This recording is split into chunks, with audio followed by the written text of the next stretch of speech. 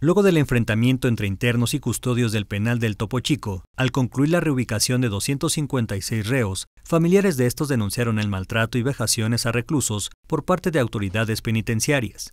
En entrevista, mujeres apostadas a las afueras del reclusorio cuestionaron esta situación que, de acuerdo a ellas mismas, les fueron reveladas la víspera por sus allegados. Pues yo estoy desde anoche y no nos han dejado pasar.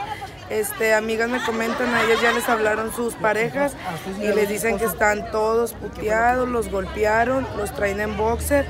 Mi hermano lo arrastraron al patio del penal y le dieron con una macana, los avientan al piso y los golpean. Entonces queremos que nos dejen pasar a verlos de perdido. Estamos aquí desde ayer y no, no sabemos nada. Muchas que están aquí, a sus reos ya se los llevaron a otro penal pero no, no les dicen exactamente en qué penal está, se los llevaron a dos y aquí toda la gente está esperando porque pues es lo mismo que les comentan todos, o sea, están golpeados, los traen encuerados y no nos dejan pasar.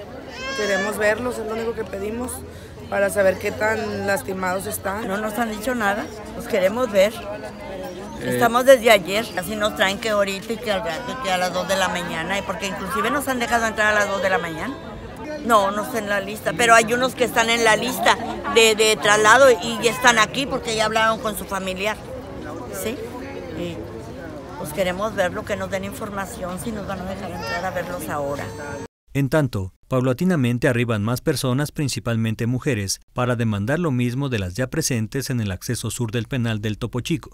El secretario general de Gobierno precisó que 461 internos hombres y 40 mujeres fueron trasladados a los centros federales de readaptación social de Ramos Arizpe y de Morelos, situación que provocó la inconformidad de familiares, mismos que realizaron bloqueos en las afueras del penal. Las acciones de reubicación generaron además una reyerta al interior del penal con el resultado de 30 lesionados, 18 internos y 12 custodios. Con información e imágenes de Plácido Meléndez Rodríguez, corresponsal en Monterrey, Notimex.